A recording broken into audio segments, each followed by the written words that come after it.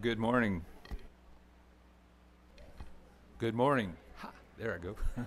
Good to see you this morning. Glad to have you here on this Labor Day weekend. We know that uh, lots of folks are traveling today. We have our, our youth retreat this weekend, and uh, uh, so uh, we're uh, we're lots of things going on, lots of things to talk about apparently. So so we don't have a church dinner today, so we got to talk now, right? So, great to see you. We do have a few announcements, and uh, you, most of them are familiar to you, I think, but uh, we're going to go ahead and announce them anyway, or we continue to have our our uh, uh, our basket at the back there with uh, the uh, where we're collecting our offering, and uh, we appreciate again and again and again we appreciate uh, all of your all of your uh, support of the church as we uh, have uh, uh, made some changes over the last couple of years. But uh, thank you for uh, keeping that in mind. Uh, just to be sure that we're still aware, the uh, uh, Trail Life and American Heritage Girls are now again meeting in the church, and so they're here on Sunday afternoons. And we appreciate this ministry, and we want to do all we can to support the ministry. If you find ways that you can support them individually, that's great too. Uh, to just be uh, present, to be a part of uh, what they do, and to give them uh, the support that they, moral support that they need as they uh, keep working with these children here at the church. Our youth retreat is happening right now, and they're going to be returning home tomorrow. So we're going to we're going to pray today for a good retreat and also for safe travel for them as they come back tomorrow. Um, Wednesday night, I'm pretty sure we're going to have a discipleship discipleship study this week. Uh, there's uh, uh, we've been uh, very busy the last couple of weeks with uh, with doing some ministry work here at the church and uh, uh, serving families experiencing loss, and so we appreciate all of your work in that. That's good discipleship right there. So a good discipleship lesson for us. But we'll be meeting here Wednesday night, seven o'clock in the fellowship hall. There's Zoom meeting available, and we'll send out a link again this week. I promise we'll send out a link again this week to uh, make sure that everybody has that. If you'd like to zoom in uh, as we as we meet together. This coming Saturday is the second Saturday of the month. It's already here. It's men's prayer breakfast time. So we'll meet at uh, Las Tapatias at uh, 7:30 a.m. and uh, our men's fellowship. Uh, we'll have a good time there, and look forward to seeing y'all come to be a part of that. Just to get ahead of things a little bit, uh, uh, not this Tuesday, but the next Tuesday, the Board of Stewards is meeting here at the church. We always like to have a couple of announcements in service before that meeting uh, arrives, but uh, that's Tuesday, September 13th, and it'll be at 7 o'clock. And our women's group is uh, back on the schedule now. We're uh, back on September 24th. Uh, they'll meeting. They'll be meeting again here at the church. That's a Saturday, and it's at 9:30 a.m. I understand. So uh, if you'd like to check with Pam about details on that, uh, you can do that. Uh, so this gets us pretty much ahead. If you'd like to check the website anytime, you can do that. BethelMethodist.com slash Robinson. So be, check in there if you'd like to see if what else we've got going in these coming days. These are our announcements today, and so uh, we look forward to what God has for us in this service uh, as we as we meet together uh, today. The uh, uh, scripture reading from the Old Testament today, um, Old Testament uh, this morning, comes from Deuteronomy chapter 30, verses 15 through 20.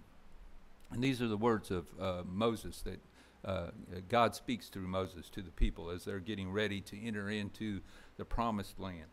See, I have set before you today life and good, death and evil.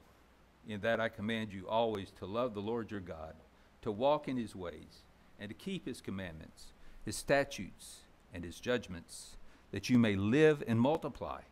And the Lord your God will bless you in the land which you go to possess. But if your heart turns away so that you do not hear and are drawn away and worship other gods and serve them, I announce to you today that you shall surely perish. You shall not prolong your days in the land which you cross over the Jordan to go in and possess. I call heaven and earth as witnesses today against you that I have set before you life and death, blessing and cursing. Therefore, choose life, that both you and your descendants may live, so that you may love the Lord your God, that you may obey his voice, and that you may cling to him, for he is your life and the length of your days, and that you may dwell in the land which the Lord swore to your fathers, to Abraham, Isaac, and Jacob, to give them. Let's bow our heads as we begin our service in, with prayer this morning.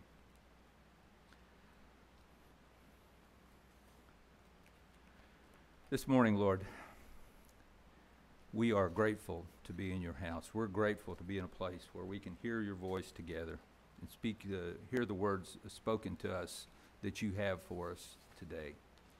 You have pl- poured out blessings on your people for all time. You have led them on the path of the true and the real life that you are establishing here on earth. We pray this morning that you would enable and empower each of us to keep responding and choosing to walk with you in your way again and again, each and every day of our lives, that we might revel in your love and love all that we meet in the same way as we are being loved by you. Our prayer is always in your blessed name. Amen. Let's sing together this morning. Ken, come and lead us.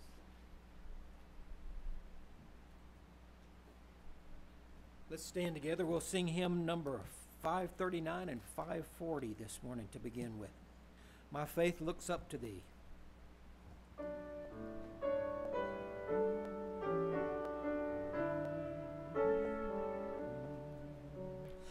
My faith looks up to thee, thou Lamb of Calvary, Savior divine. Now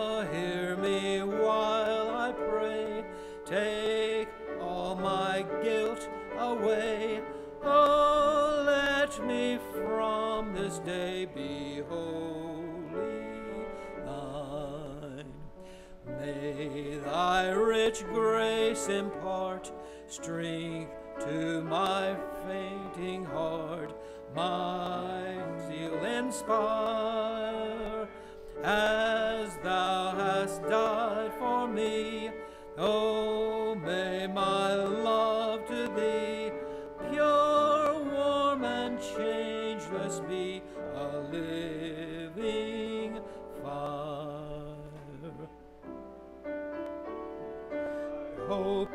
in the Lord who gave himself for me and paid the price of all my sin at Calvary.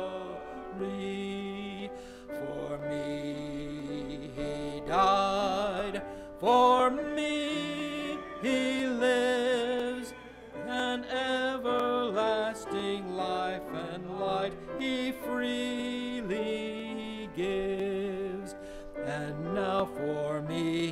stands before the Father's throne. He shows his wounded hands and names me as his own. For me he died,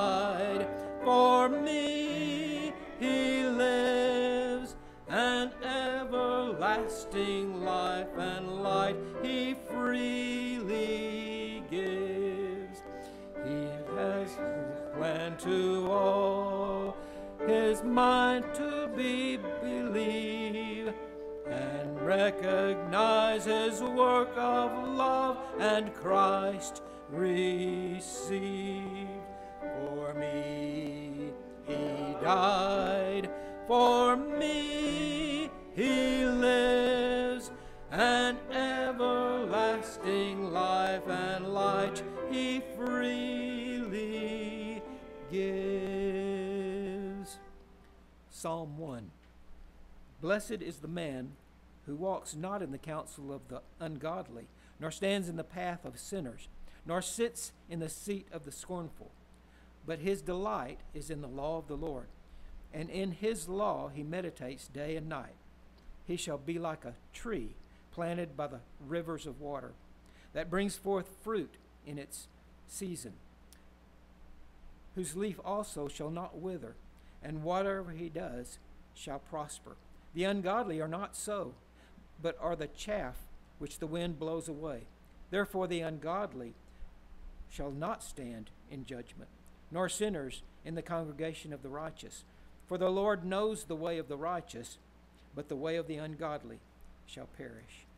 Let's sing Be Still and Know. Hymn number 585.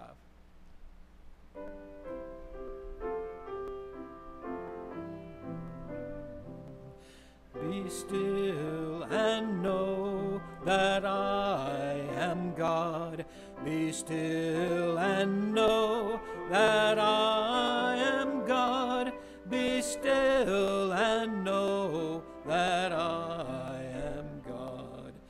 I am the Lord that healeth thee. I am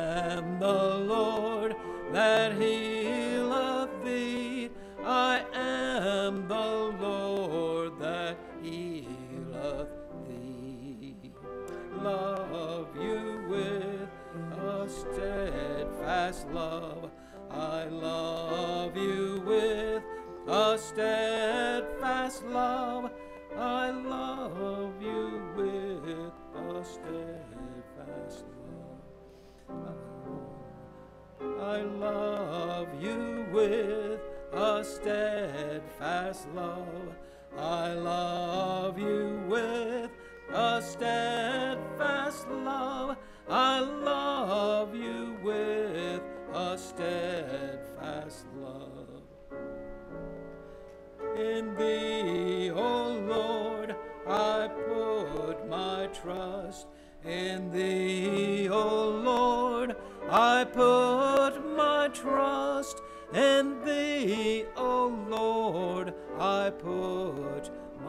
trust. Let's remain standing for the Apostles' Creed. I believe in God the Father Almighty, maker of heaven and earth, and in Jesus Christ, his only Son, our Lord, who was conceived by the Holy Spirit, born of the Virgin Mary, suffered under Pontius Pilate, was crucified, dead, and buried. The third day he rose from the dead. He ascended into heaven and is sitting at the right hand of God the Father Almighty. And from there he shall come to judge the living and the dead. I believe in the Holy Spirit, the one universal church, the communion of saints, the forgiveness of sins, the resurrection of the body, and the life everlasting. Amen.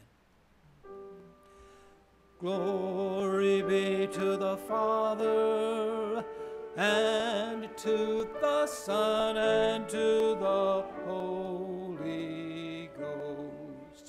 as it was in the beginning, is now, and ever shall be, world without end. Amen. Amen. Be seated.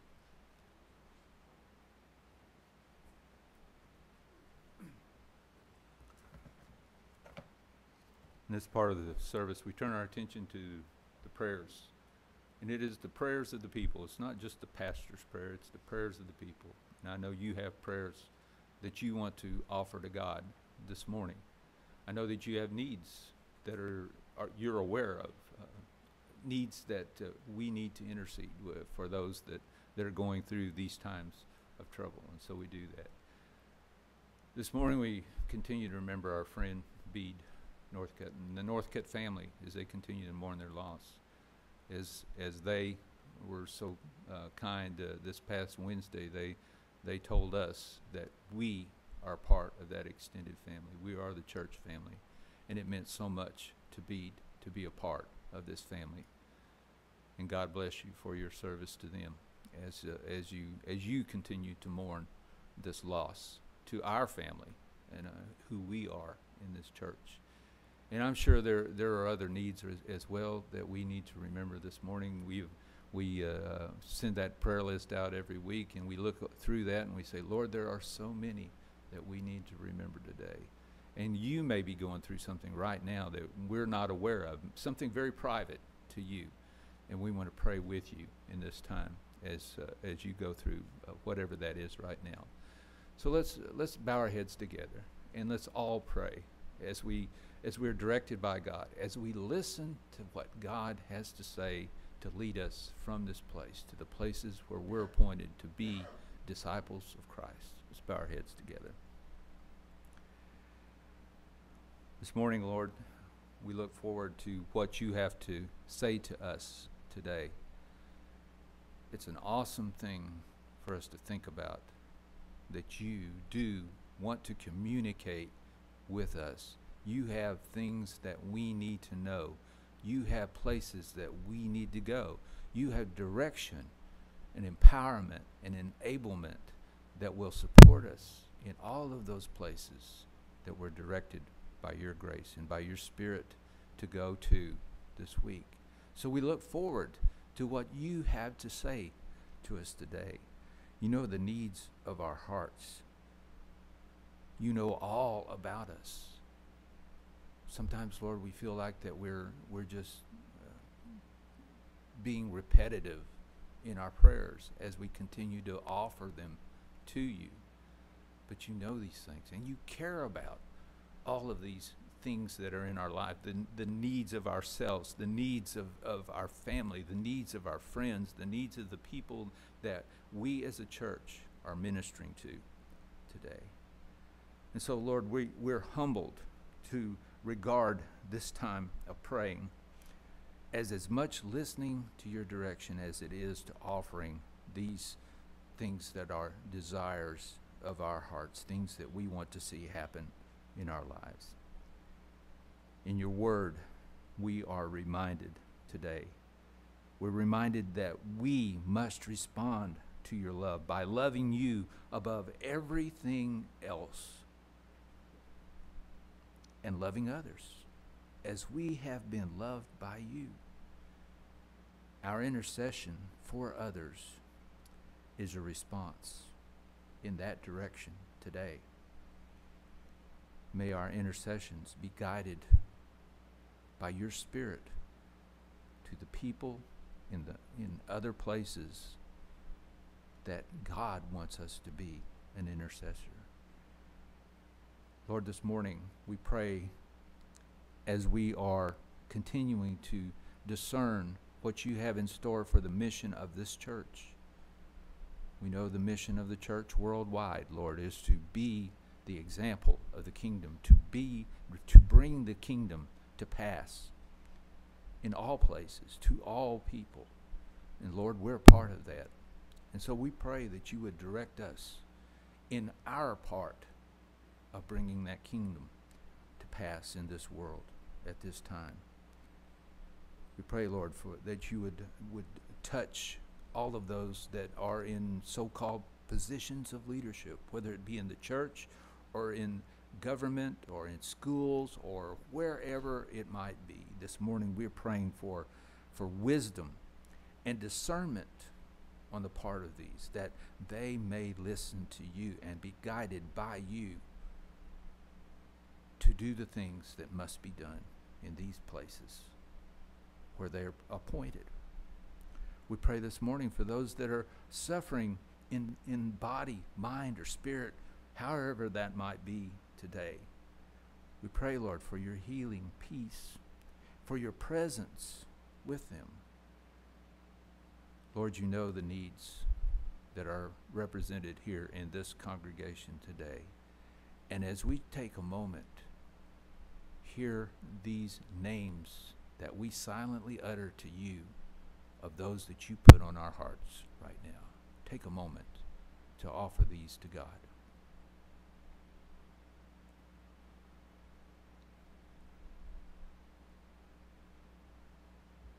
Again, Lord, we pray for peace and presence, your peace, the only true peace, your presence, the greatest presence in our lives, in the lives of these for whom we pray. We're thankful this morning for the blessing of creation, for all that you have given us to be a part. We pray, Lord, that you would help us to be the kind of, of caretakers that, that you envisioned as you created this race of people in this world today. We're especially reminded today to pray for those experiencing loss. We lift up again Bede's family to you. You know the that place that's empty right now. The physical presence is empty, but the memories are still there. The blessing of the example that was set in this life is still there. Not just for the family, but for us as well. As a church family, we're grateful for that. And we lift each other up as we seek ways to mourn that loss that we feel right now. Guide us to be better disciples because we've known a great disciple in our lives. We pray this morning that you would direct these words that we prayed, every prayer that's been offered this morning. May it be totally for your honor and glory, putting aside all other wants and desires that we have, desiring only your will to be done from this time forward. And we pray that prayer that our Lord taught us to pray. Our Father, which art in heaven, hallowed be thy name. Thy kingdom come, thy will be done, in earth as it is in heaven. Give us this day our daily bread, and forgive us our trespasses, as we forgive those who trespass against us. And lead us not into temptation, but deliver us from evil.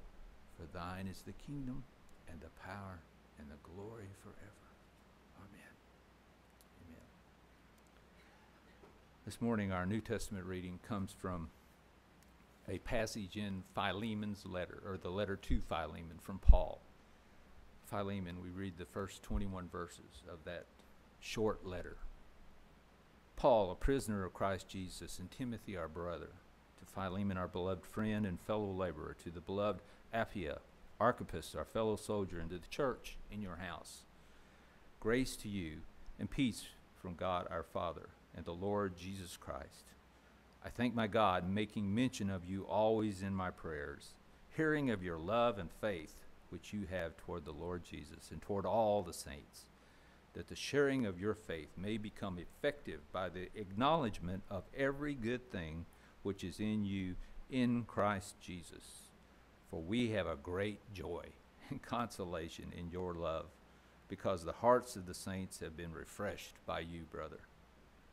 Therefore, though I might be very bold in Christ to command you what is fitting, yet for love's sake I rather appeal to you.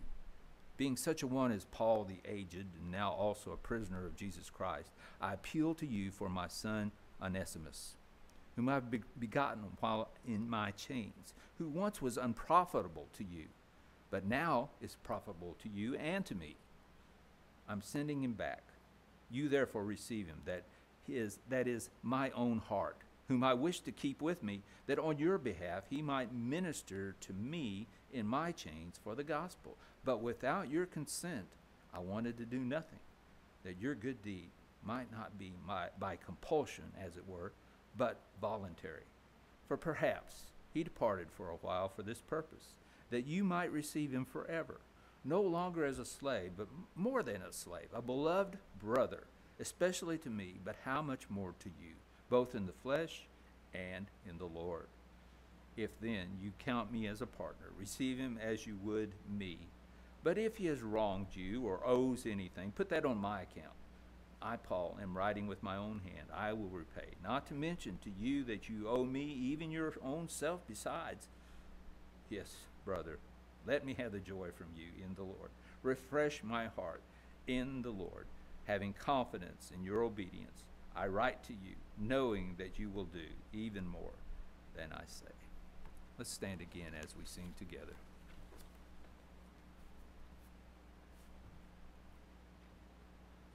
Let's stand and sing hymn number 424, the servant song.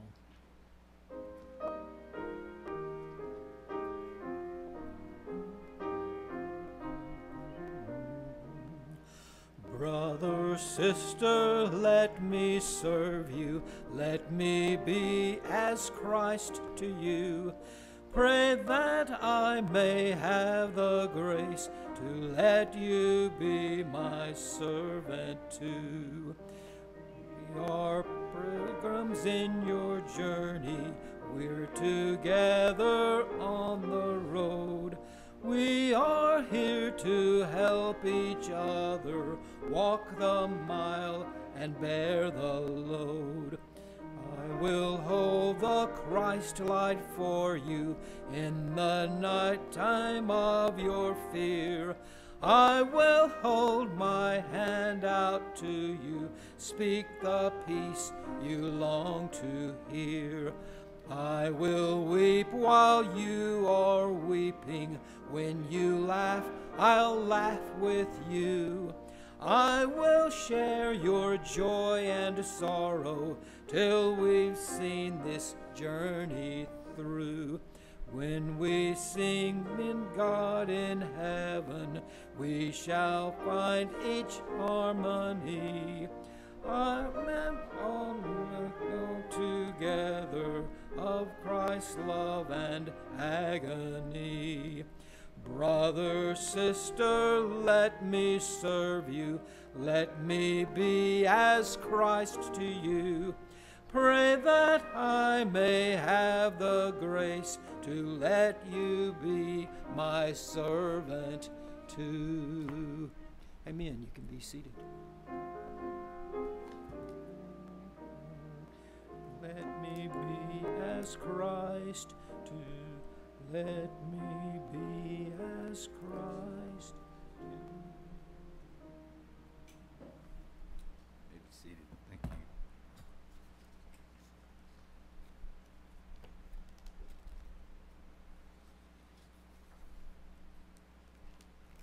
We love singing these songs together.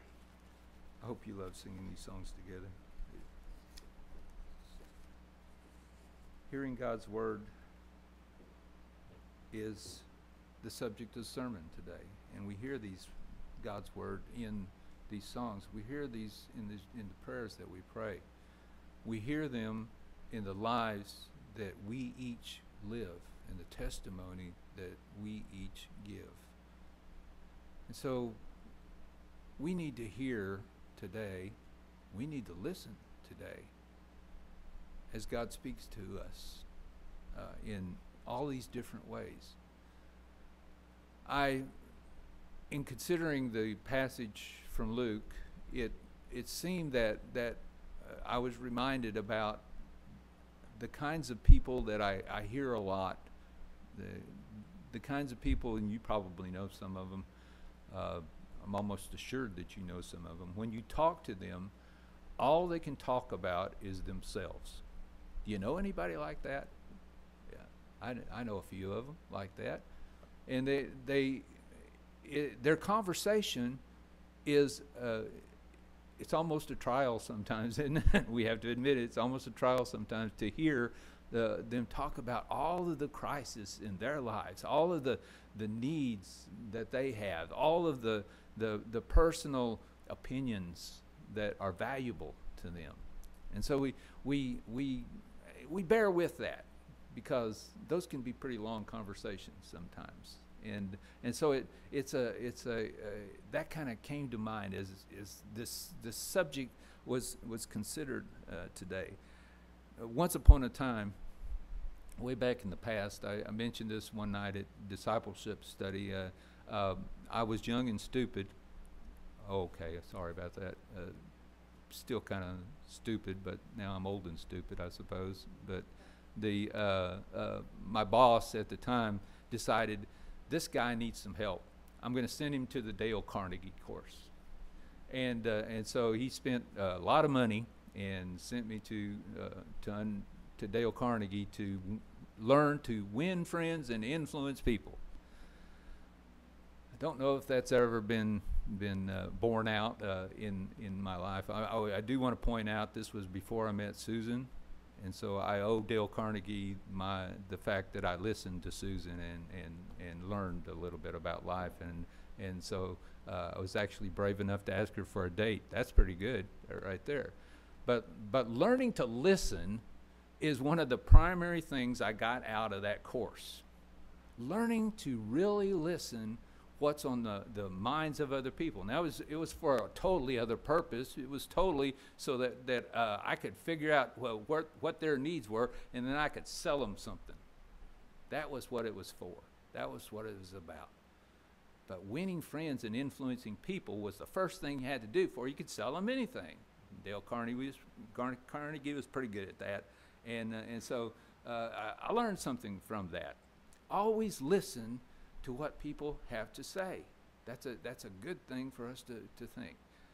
But Christian discipleship is not about winning friends and influencing people. That is not what we are about. We are not about business principle, putting business principles uh, at, to practice to sell Jesus to somebody else out there. That's not what the church is for. Jesus would, would be appalled if we ever if we ever became that kind of business in this world. We're, uh, we are followers of Christ. We think about that maybe in the way that we pray. We kind of uh, referred to that a little bit today. The way that we pray. How do we pray to God? Do we talk to God?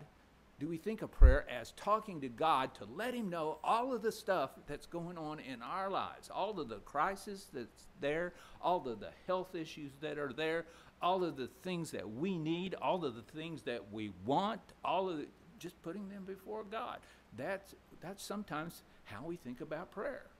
That's a kind of a childish way to think about prayer, making sure that God knows what I want.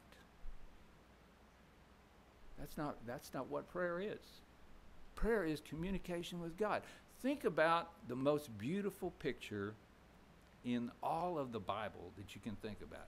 The one that comes to mind, I'm almost certain, is Adam and Eve in the garden walking and talking with God. It is the ideal. It was what we were created for. It's what God desired for us to walk and talk with God. Not to just tell him, you know, all of the stuff that we lack, but just to to be in God's presence, to to listen to what God had to say, to go with God, to walk with God, to be guided through this beautiful place, this garden that had everything that could be possibly imagined with only a little bitty boundary in the middle so that God said, don't go there. Don't get involved in that. Everything else is yours. That's a beautiful picture. Thinking about being always in the presence of God, the best picture that I can think of in the Bible is that is that being uh, in, in God's presence all the time. And that's what conversation with God is about. Listening to God, being guided by God. We confess that God is God Almighty, all wise, infinite, all seeing, all knowing. And then we think that we have to remind God about all of the stuff that we need in this world. When God's got all of this, this amazing bounty to offer to us guidance, wisdom, uh, empowerment to do what God wills to be done in this world. It might be a good idea for us to begin to think about listening to God, putting God ahead of all of this other noise that's in this world right now. And you know very well the culture we live in is just full of that kind of, of that kind of conversation. We've read some scriptures today. From Deuteronomy, we, we read about uh, that, that day that as Moses is preparing the people to be to walk over that river, to enter into the promised land. And this, these words from God through Moses good, death, and evil have all been set before these people. They've been out there in the wilderness for 40 years. They know what, what he's talking about when he talks about that. He talks about listening to God and following direction, and that will result in God's provision for them as they enter into this land that's been promised to them.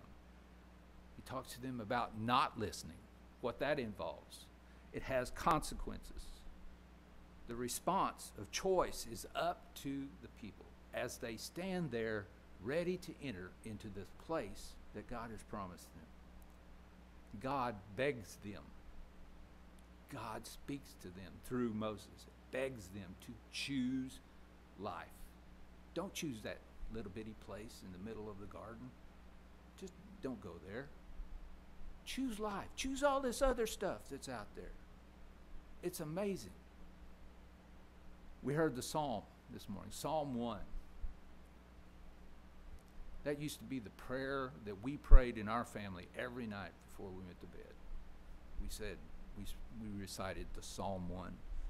I remember it in the King James Version, so I kind of get lost in some of our, these other modern versions. But all of the concepts are still there, the pictures are still there.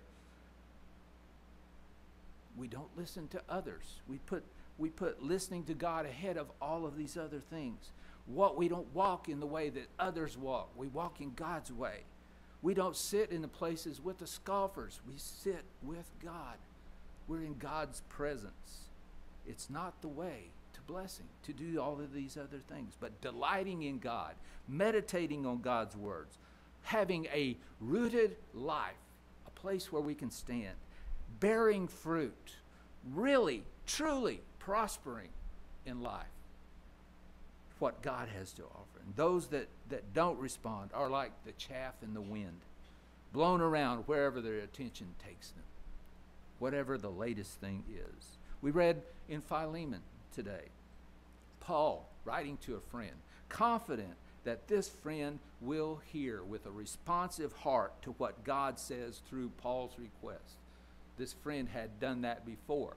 This friend had proven true this friend knew what Paul was talking about, and Paul is confident about what he has to say. Everything, Paul is giving up something here. A friend is being sent back to, to this, this man, Philemon. Paul is not putting his preference ahead of what God desires for this friend. And then today, our gospel reading uh, comes from Luke talks about some, some hard things. It, it, Jesus says some very difficult things to these people as they're following him. It talks about the huge crowds that are out, on, out there on the road in Palestine, following, following Jesus around in, in Galilee, is where he's at. These, they're following Jesus around to where, wherever he goes. And they grow and they grow and they grow. And Jesus speaks some very hard words to him. And these hard words are not meant to thin out the herd, not meant to thin out the crowd. But Jesus wants every single one of them to understand what it, it what it means to actually follow Jesus, what it actually means to be in the presence of God all the time, how that comes about. And so he says some very very difficult things as we read it. Let me read the gospel passage to us this morning. Luke chapter 14, verses 25, 25 through 35. Now, great multitudes went with him, and he turned and he said to them, If anyone comes to me and does not hate his father and mother, wife and children, brothers and sisters, yes, and his own life also, he cannot be my disciple. That's a hard word. And whoever does not bear his cross and comes after me cannot be my disciple. A cross. You people have to go get a cross. You have to, to carry this cross with you. If you don't do that, you cannot be my disciple. For which of you, intending to build a tower, does not sit down first and count the cost, whether he has enough to finish it? Lest after he has laid the foundation and is not able to finish, all who see it begin to mock him, saying, This man began to build and was not able to finish. Or what king, going to make war against another king does not sit down first and consider whether he is able with 10,000 to meet him who comes against him with 20,000. Or else, while the other is still a great way off, he sends a delegation and asks conditions of peace. So likewise, whoever of you does not forsake all that he has not has cannot be my disciple. Salt is good. But if the salt has lost its flavor, how shall it be seasoned? It's neither fit for the land nor for the dunghill, but men throw it out. He who has ears to hear, let him hear. Those are hard words that Jesus speaks there.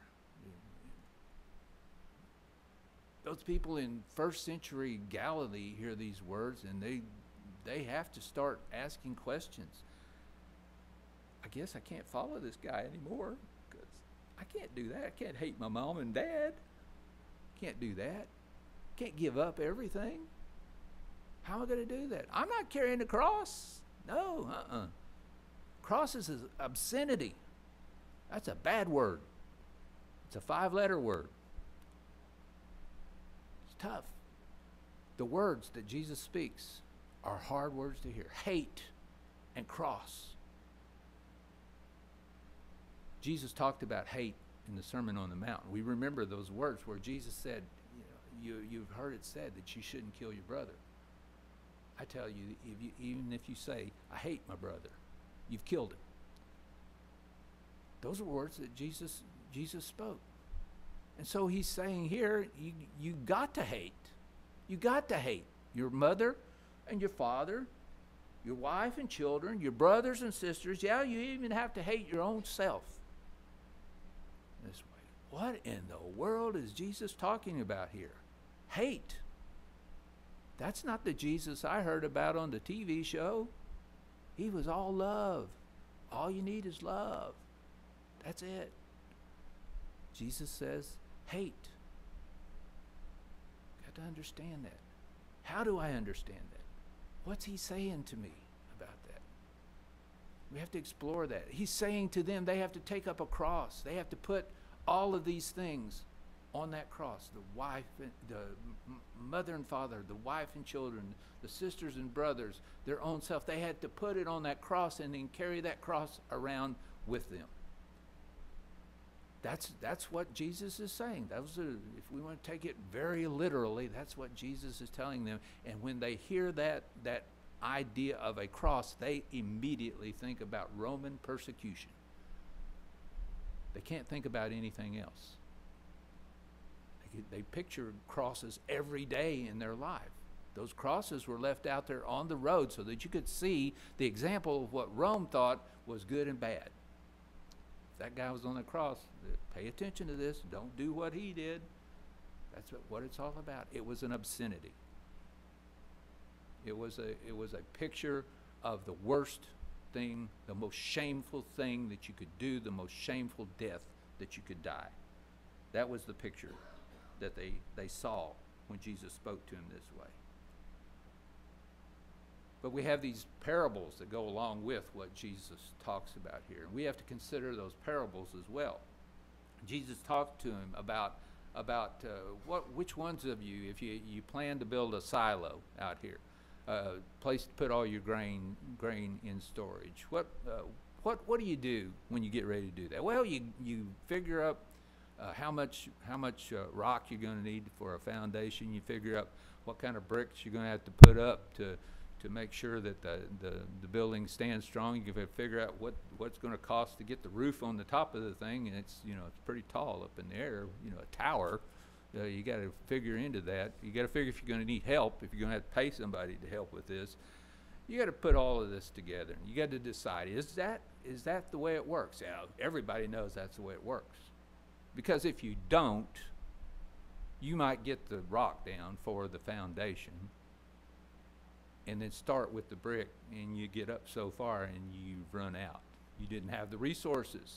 You didn't consider what the resources needed were going to be. And so you ran out. and people are walk will walk by. Everybody understands this. They get this picture. People will walk by and say, well, "Look at that guy. He didn't he didn't plan. He didn't figure out what he needed to do."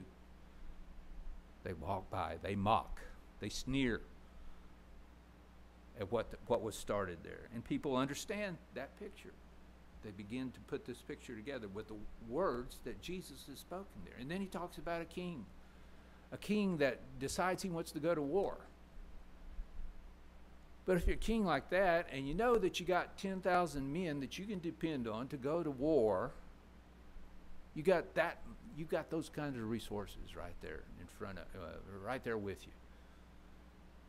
And you know, if you know that the king that you're you're wanting to go to war against has 20,000 people, you got to sit down and do a little bit of calculation. Are my 10,000 people twice twice as good as his 20,000 people? I got to consider this.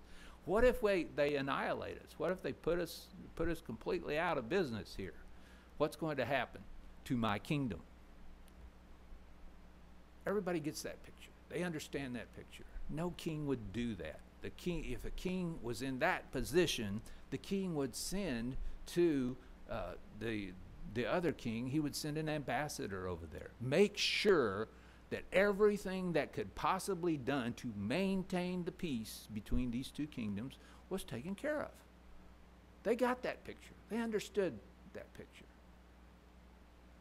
They understood that what Jesus is saying, you got to understand what it costs to be my disciple. You got to understand that you have to put away some of the things that you think are the best things in this world. And they are great things wife and or mother and father, wife and children, brothers and sisters, your own self, the things I want. Those are those are those are things that, that you know they're right there on our minds. They're right there what we want to put in place as as our priorities in this life. And Jesus is saying, Count the cost of being a disciple. Count the cost of putting away those priorities. Count that cost up. Consider it. Because what will you look like if you start out and then you turn around and go back? Think of the cost of that. Forsaking all to follow Jesus is something that has to be considered many of us in this room have considered what the cost is in following Jesus. We, th- we thought we were going to, we're le- leaving things behind. And some of us found we got so much more in the process of this. Jesus talks to them about salt in the last part of this passage, that last part of the last parable that he's offering about salt. Salt. What's what is salt used for? It's preservative. It's it makes things taste better. All of those that have had our doctors tell us that we can't have salt anymore understand what that that's talking about there. We like salt. We use a lot of salt to make things taste better. But consider what it would be if, a, if salt became tasteless, if there was no taste to salt at all, what, could, what, would, it, what would it be used for? Well, you couldn't use it for soil. You know plants can't grow in salt, kills plants. That's not good. Well, and, and so you know also that you can't use it for fertilizer. It's not going to work. It's going to kill the plants. It's not going to feed them. Food's not going to taste good, as good anymore, if salt has lost its taste. What a picture that is to us to think about it in that way. And Jesus is saying here, okay, that's what it's like. If we if you don't forsake all of these other things, then you you ha- will not be salty followers of Jesus. Every follower of Jesus is a salty follower of Jesus. tastes good, makes the world better, makes the world a better place, makes the kingdom come among us to everyone that we meet. For those that have ears to hear, let them listen to what God, what Jesus is speaking to us about what it means to follow God, to be directed by God in every sense of the word, to go with God. Put away all of these other things. Just put them down. Doesn't mean you're going to lose them. Just put them down. Put Jesus up here. Put God up here. Put, put your focus on God. This week, we considered a life that was lived with us, an example that was with us for many years. It's instructive to us about that life. Bede lived a life that paid attention to God. You heard those stories about moving around all of those years. Seven seven places in ten years or whatever it was. It was it was amazing. But Bede was listening to God. Bede was being guided by God. He was a man that lived like that. He put God first, and God directed his life. Bede would testify to this in every sense of this. He Bede did testify to us about that.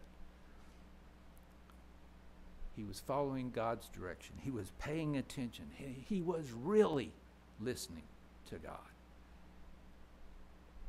That life is an example to us of what, what it means to be that kind of follower.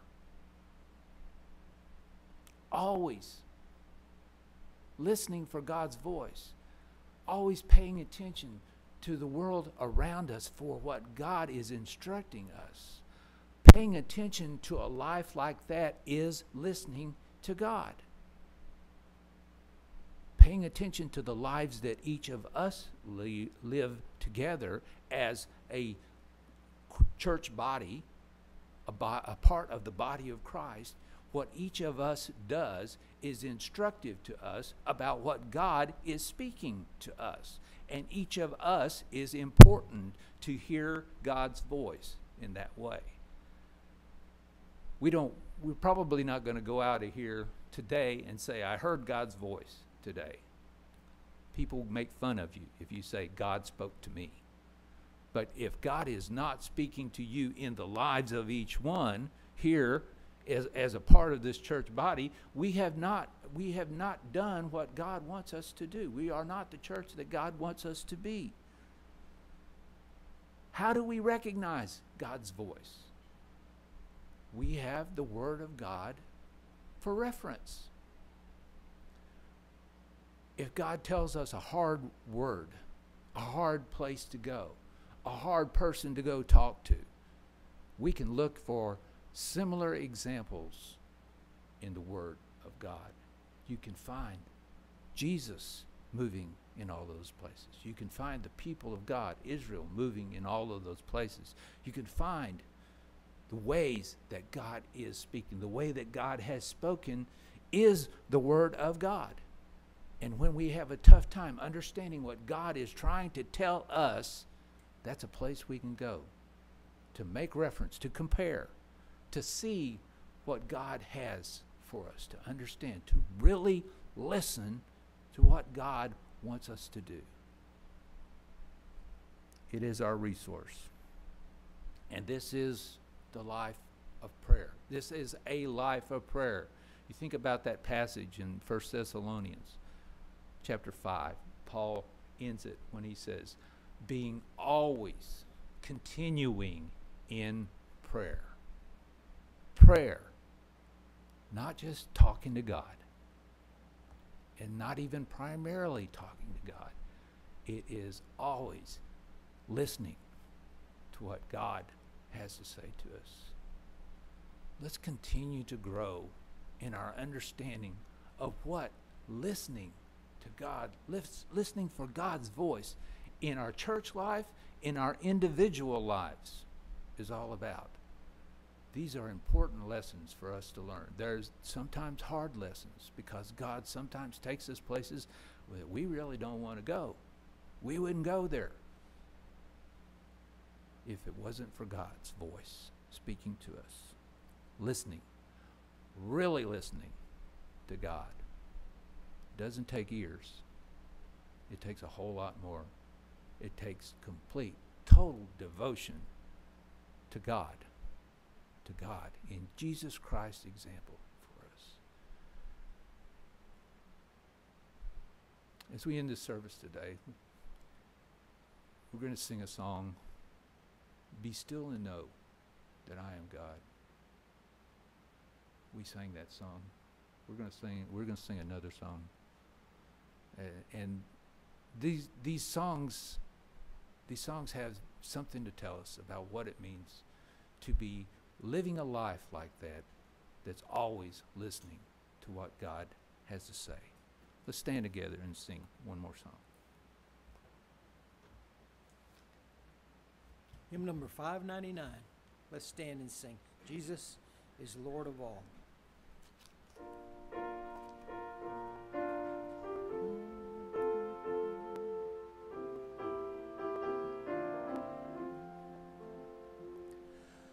All my tomorrows, all my past, Jesus is Lord of all. I've quit my struggles, contentment at last. Jesus is Lord of all. King of kings, Lord Jesus is Lord of all. All my possessions and all my life, Jesus is Lord of all. All of my conflicts, all my thoughts, Jesus is Lord of all. His love wins the battle could not have fought. Jesus is Lord of all. King of kings, Lord of lords, Jesus is Lord of all. All my possessions and all my life, Jesus is Lord of all. All of my longings, all my dreams, Jesus is Lord of all. All of my failures, His power redeems. Jesus is Lord of all. King of kings, Lord of lords,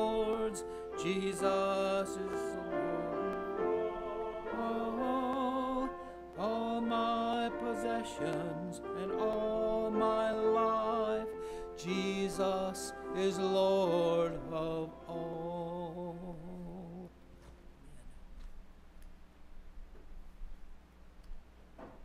As we leave this morning, let's go in the peace of God, listening to where God is taking us, listening to what God's direction is for us. Let us go and serve the Lord. May the Father, Son, and Holy Spirit, the great I am, keep you in love, challenge you to respond to the faithfulness of God, and sustain you with God's grace this day and all days. Amen. Sing, Oh, how he loves you and me.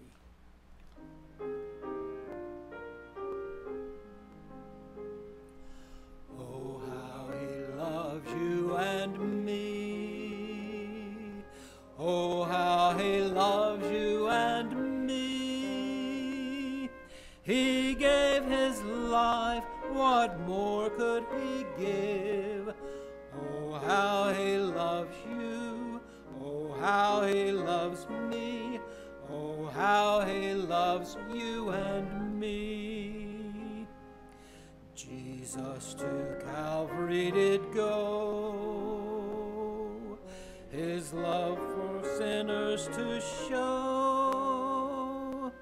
What he did there brought hope from despair. Oh, how he loves you. Oh, how he loves me. Oh, how he loves you and me. Amen. You're dismissed.